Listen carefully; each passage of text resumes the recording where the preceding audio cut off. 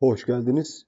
Burada anlatılanlar yatırım tavsiyesi değildir. Kimseye al ya da sat demiyoruz. Karnınızdan da zararınızdan da sorumlusunuz. Abone olup videoyu da beğenmenizi rica ediyorum. Şimdiden çok teşekkür ederim. FX Street analisti arkadaşlar yine yaptığı açıklamalarda önce 161'lerden devamında kırılımının 14'lere bunun da devamının 115'lere kadar e, devam edebilecek bir geri çekilme olduğunu e, bu şekilde belirtiyor ve böyle bir e, dip seviyeleriyle alakalı ne yapıyor? Belirleme oluşturuyor. Şimdi şunu söylemek gerekiyor arkadaşlar. İlk önce 16 pozisyonlarının kırılımı Lunge'da o kadar kolay değil. Şimdi kırıldığı durumda da toparlamaya oldukça meyilli olacaktır.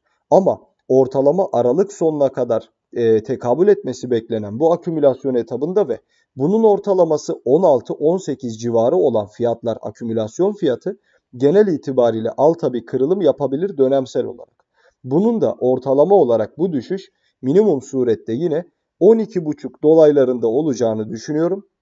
Ancak burada da uzun süre oyalanmayacağını düşünüyorum. Tabii ki e, fiyatla yani e, dönemin piyasasına göre değişecektir. Uzun lafın kısası pek çok kişiden de e, bu bağlamda özellikle yabancılardan e, benzer yorumlar geliyor.